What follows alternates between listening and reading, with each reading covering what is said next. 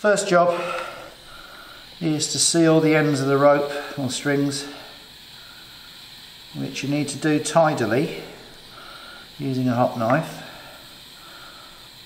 like so. Get rid of that. And need to make sure that you haven't got a great lump of plastic just seal it off neat and tidy. You don't want to build up too much on the end there so nice neat cut. Same with this one.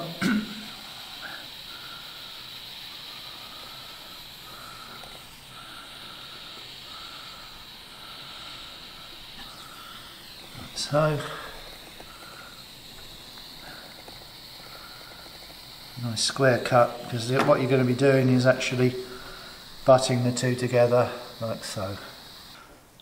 The block I'm using is a, a double Seasure dinghy block. Um, just feed both ends through and then put it to there, that's fine. Right, with a standard darning needle and some number two whipping twine. Uh, I've tied a knot in the end and somewhere about centimetre and a bit and it passed the needle through the string for the first time. And you need to make a very secure little knot here because if you don't it will just pull loose and then you end up getting annoyed like so. It's probably worthwhile putting a couple of knots in. Keep them nice and tight. And then one this side possibly. And through. So. So it's nice and tight, you can probably see. And then take the needle and pass it through the centre of the string for which you may well need, as I'm going to put on, a palm and push it through. It will come out, it's not coming out, it's quite straight, so I want to come out ideally in the middle or thereabouts. There we go. That's through. Pull the needle through, which you probably need a pair of pliers, which I haven't. no, that's okay, it's through. Right, so, and now we have a piece of string through the middle. And guess what? We stick it through the centre of the other side. Again, pushing gently.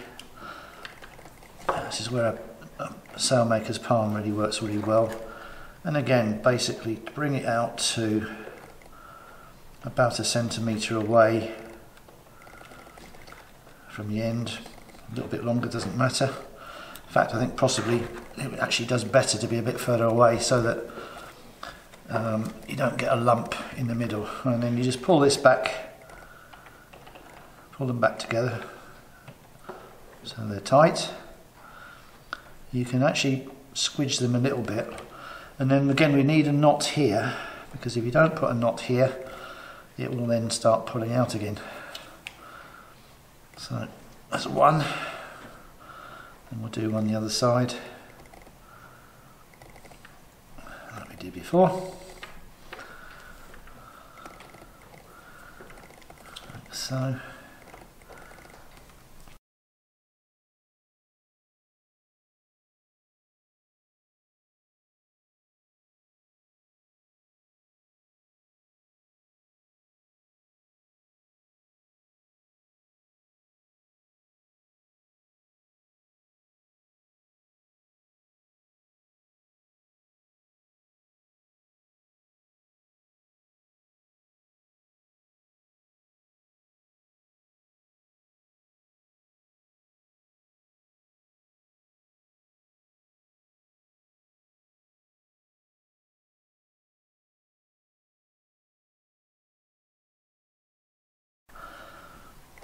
and somewhere else on the string not in the same place because you don't want to build up high spots that is quite important so put another one in there so. And now we have our joint.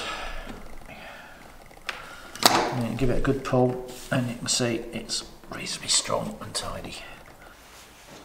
Right, I have tied the double block um, which is required. I fed uh, the, the, the loop is actually through here as I described earlier on. Um, John recommends tying the block to the bottom of the um, turret somewhere about here and letting it float in case you should yank this and break the cable.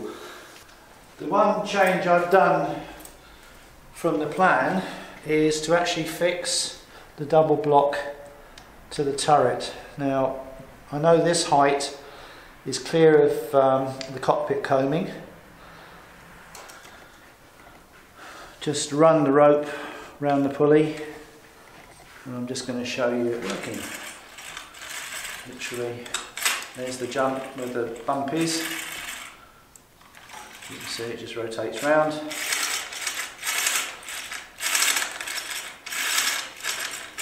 And so the neater you do the joint, the smoother this bit is. Right, my apologies for the somewhat uh, dramatic lighting. Um, my spare light is no longer working.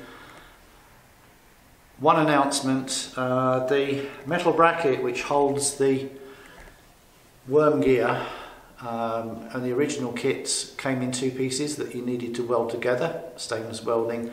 Quite easy to do, just get the right rods.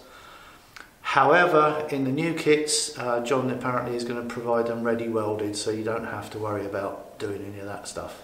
So, good luck with it. Hope you've enjoyed it. Thumbs up if you liked the video. Subscribe if you want. If you have any questions, leave them in the uh, comments down below. And fair winds to you all.